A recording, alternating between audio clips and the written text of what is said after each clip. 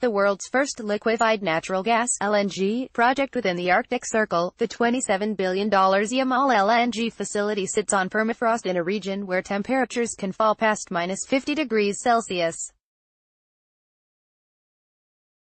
Such extreme conditions pose many engineering challenges, not least those relating to the 20 or so power transformers charged with keeping the project running. Transformers are critical pieces of equipment, required to reliably operate in some of the world's most extreme environments. This has led to engineering innovations to help them operate safely and effectively under a wider range of operating situations, such as the use of synthetic ester fluids in place of mineral oil. Just as yesterday's Formula One tech influences today's commuter cars, there are lessons here we can apply to more mainstream environs in future. And it's vital that lessons are learned, because tomorrow's normal may well be more extreme than today's. As the Intergovernmental Panel on Climate Change's latest report warns, climate change will significantly worsen the risks of drought, floods, extreme heat and poverty. 1. And as the frequency and severity of extreme weather events increases and urbanization ups the stakes in terms of transformer safety risks, extreme may well become more everyday. Frozen fluids In the case of Yamal LNG, a synthetic ester fluid with a pour point of minus 56 degrees Celsius was used to mitigate freezing and fire risks, with higher flash and fire points, an external fault would be far less likely to lead to a failure or fire, therefore reducing the chances and potential severity of an incident, in a location where billions of dollars of investment have been made. It's not just the Arctic Circle where this is an issue. Wind turbines in locations such as Canada, northern China and the North Sea also suffer from the cold. Owing to the intermittent nature of renewable energy, there is increased risk of freezing when the turbine isn't running. Using an ester fluid with a very low pour point would then help with cold starting the transformer when the turbine is energized. Running hot conversely, synthetic esters offer equal advantages in the opposite extreme. Consider Kuwait, where the mercury behaves quite differently than in Yamal, with ambient air temperatures rarely dipping below 50 degrees Celsius in the summer months. In fact, engineers design transformers assuming 58 degrees Celsius. This is the air being used to cool the equipment. In practice, once it has been taken into the transformer, it is probably closer to 70 degrees Celsius. As such, you have assets running very close to their maximum permitted temperature.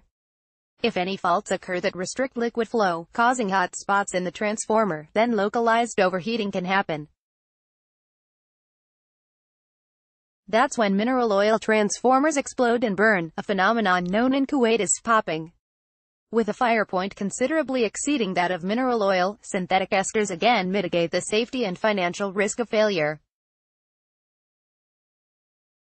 However, there are also additional benefits in terms of reduced maintenance costs, as the extreme heat accelerates chemical reactions that cause degradation.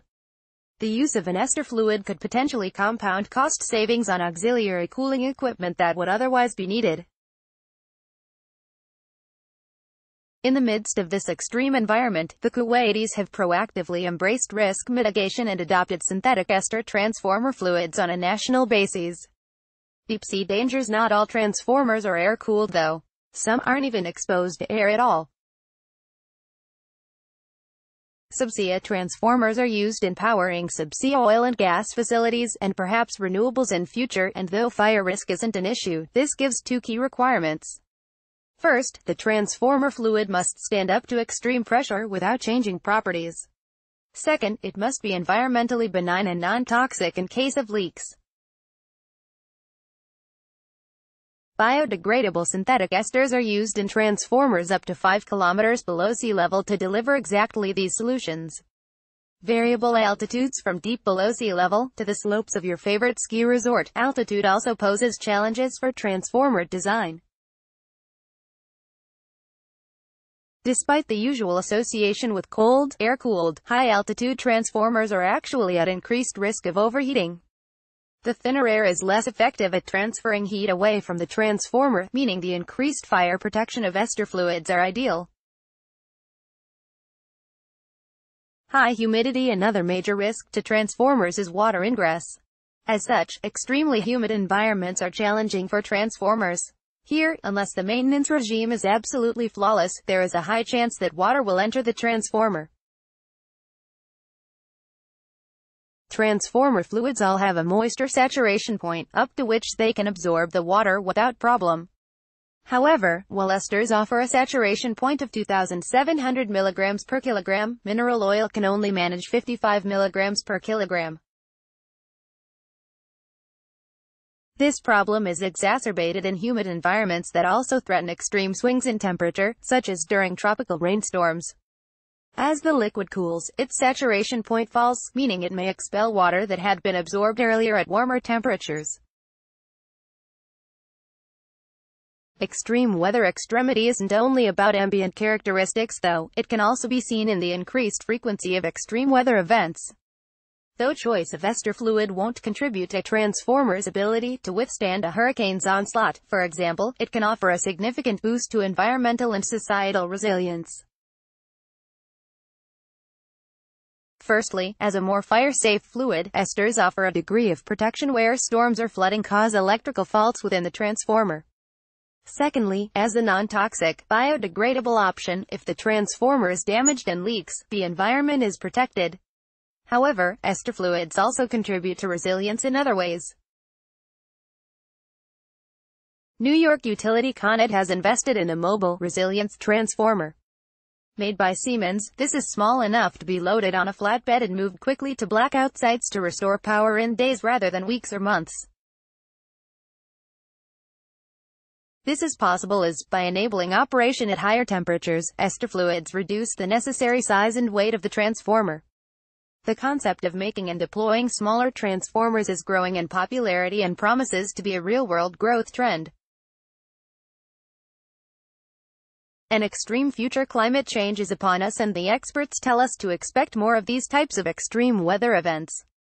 For many, everyday environments will become more extreme too. The UK's Met Office warns that climate change will mean that conditions such as the summer heatwave of 2018 become more frequent in future. Though uncomfortable in the UK, in Spain temperatures peaked above 45 degrees Celsius and northern Europe saw forest fires rage out of control, as did California and Australia. Tomorrow, operators may find the lessons learned in the harsh extremes of Yamal or Kuwait become increasingly applicable to more and more assets around the world. As the extreme becomes more everyday and the everyday more extreme, today's best practice will be tomorrow's standard practice. Ex Scotland can tackle fuel poverty, MSPs told.